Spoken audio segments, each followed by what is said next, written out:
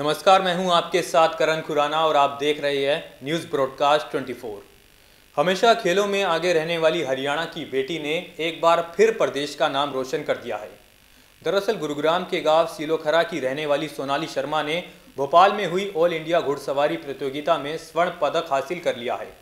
भोपाल में हुई all India घुड़सवारी प्रतियोगिता में सीनियर कैटेगरी में 200 से ज़्यादा खिलाड़ियों ने भाग लिया था जिसमें सोनाली शर्मा ने अपना बेहतर प्रदर्शन करते हुए सभी प्रतिभागियों को मात देते हुए स्वर्ण पदक हासिल किया। My name is Sonali Sharma मेरा हॉर्स राइडिंग का इक्वेस्ट्रियन चैंपियनशिप थी, जिसमें मेरी सीनियर कैटेगरी है, जिसमें अराउंड 200 पार्टिसिपेंट्स थे and I have won gold medal in the senior category show jumping which was held in Bhopal 13 से शुरू हुआ था 13 दिसंबर 25 दिसंबर हुआ था 2022 एंड इसमें काफ़ी पार्टिसिपेंट्स थे। कंपटीशन ऑब्वियसली टफ होता है क्योंकि नेशनल लेवल है। हर जगह से, हर स्टेट से लोग आते हैं। और, लेकिन मेहनत और हार्डवर्क सब कुछ ईजी बना देता है। जैसे मेरे पापा कहते हैं कि मेहनत करोगे तो फल मिलेगा, उसके आगे सब कुछ ईजी हो जाता है। को दो साल हो चुके हैं इसमें। और कंटिन्यूसली मैंने टू ईयर्स से मैंने इस पर मेहनत करी है। सुबह मैंने अपना स्कड्यूल बनाया हुआ है। सुबह पाँच बजे उठ के मैं राइडिंग जाती हूँ। वापस दस बजे घर आती हूँ। शाम को फिर मैं राइडिंग के लिए जाती हूँ। बीच में मैंने अपनी अकेडमिक्स रखी हुई है। मैं एम बी परस्यू कर रही हूँ अलॉन्ग विद लॉ तो मैं सब चीज़ को बैलेंस करके आगे बढ़ रही हूँ। तो अभी फ़र्स्ट लेवल था ये नेशनल का प्रिलिम का। इसके बाद नोविस होएगा, फिर एलिमेंट्री होएगा, फिर इंडियन टीम होती है। तो उसी के लिए मेहनत करेंगे अब आगे। और भी कॉम्पिटिशन्स करेंगे। और मेहनत करेंगे। मेरे को लगता है कि हर स्टेप में आप कुछ ना कुछ नया सीखते हो। मैंने इसमें काफ़ी चीज़ें सीखी है, जो कि मेरे को लगता है कि मेरे को आगे कहाँ कहाँ इम्प्रूव करना है। तो उसी को ही ध्यान में रखते हुए मैं आगे बढ़ूँगी और नई नई चीज़ें सीखूँगी, ताकि मैं अच्छा और कर सकूँ।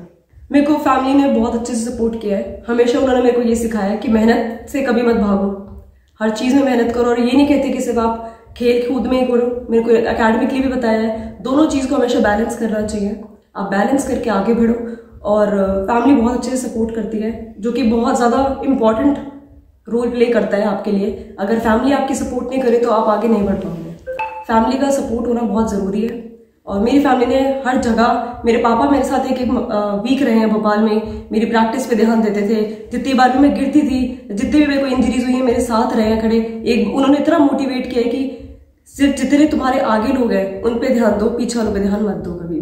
तो उन सब चीज़ों से मोटिवेशन मिलता है और आगे बढ़ने का प्रोत्साहन मिलता है। तो ये आपने हरियाणा का नाम रोशन करने वाली सोनाली शर्मा को सुना। अब आपको सोनाली की बहन का बयान सुनाते हैं जिसमें वो अपनी बहन की इस उपलब्धि पर फक्र महसूस कर रही है। तो तोशिबा शर्मा सपोर्ट से ज़्यादा तो कोई चीज़ है नहीं। माय फादर माय ग्रैंडफादर इनसे ज़्यादा मुझे कहीं भी सीखने से नहीं मिला है। हम दोनों यहाँ तक पहुँचे हैं। इनकी हमसे ज़्यादा मेहनत हम पर है। और मैं तो देख ही रही हूँ खैर इसको इतनी मेहनत करते हुए दो साल से इतनी इंजरीज इतनी चोट, जब आदमी मेडल ले आता है, उसके बाद लोगों को पता चलता है। बट पीछे की जो इंजरीज और मेहनत उसने मेंटली फिजिकली हर तरीके से की है, वो दिखाई नहीं देती जब तक आदमी मेडलिस्ट नहीं हो जाता है। तो हर एक स्पोर्ट्स पर्सन को शुरुआत जर्नी से इतना ज़्यादा इंकरेज करना चाहिए कि वो मेडल से ज़्यादा उसकी जो प्रैक्टिस है, उसकी जो मेहनत जो कर रहा है, उसको इनक्रेज किया जाए।